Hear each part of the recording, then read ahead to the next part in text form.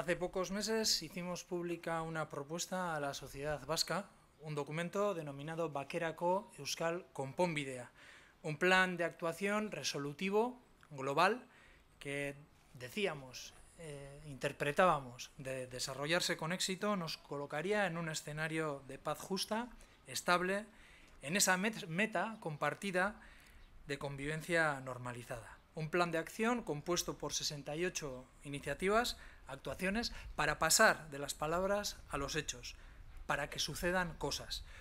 Un plan ordenado en cuatro ejes, memoria y reparación de todas las víctimas, resolución de la situación de las personas presas y exiliadas, desmilitarización del territorio vasco y desarme de ETA.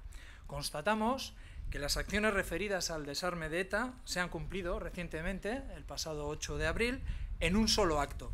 Podríamos decir que de la noche a la mañana constatamos que existiendo voluntad se dan pasos resolutivos de calado.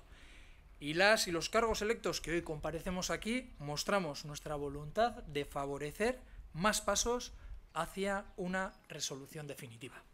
Nuevamente denunciamos que no ha cambiado la actitud del gobierno español a la hora de avanzar.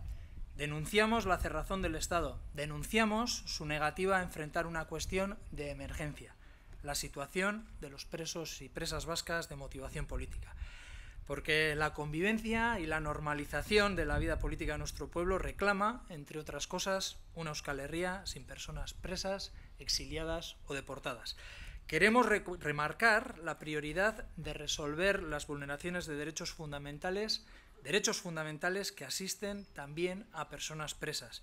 Primero, sin duda, de los que más están en una situación de emergencia por su estado de salud, por padecer enfermedades graves e incurables, porque la cárcel vulnera su integridad como personas, porque la cárcel, incompatible con su enfermedad, les niega rotundamente la posibilidad de vivir con dignidad.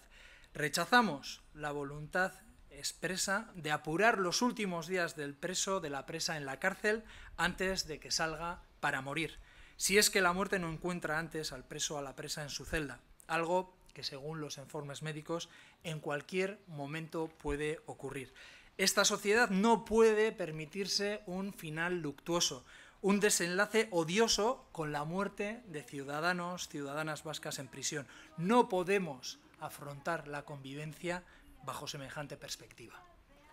La política de dispersión y alejamiento castiga arbitrariamente a las personas presas y también a sus familiares. Somete a estos últimos a la ruleta rusa de un siniestro en carretera, a una continua espada de Damocles del accidente en un viaje largo, duro, penoso. Un viaje que no tienen por qué enfrentar ni en términos legales, ni mucho menos aún en términos humanos. Una política arbitraria que impide un derecho básico, cual es el de la vida familiar, mantener las relaciones privadas, así como la comunicación del preso con el exterior, con su sociedad, con su pueblo. Una política que no es compartida aquí ya por nadie, si no es movido por un espíritu de venganza o de revancha. Una política rechazada cada vez más desde sensibilidades políticas y desde sectores políticos cada vez más amplios. Seguiremos trabajando por ensanchar estos consensos, por ampliar acuerdos que acompañen a presos y familiares para acabar con esta política. Asimismo, Consideramos que se debe enfrentar un debate amplio en las instituciones para terminar con la legislación de excepción, para derogar la Ley Orgánica 7-2003, base del tratamiento especial a un colectivo de presos específico. Es indispensable apartar las doctrinas para prolongar el encarcelamiento, para negar el acceso a la libertad, derecho último de todo preso.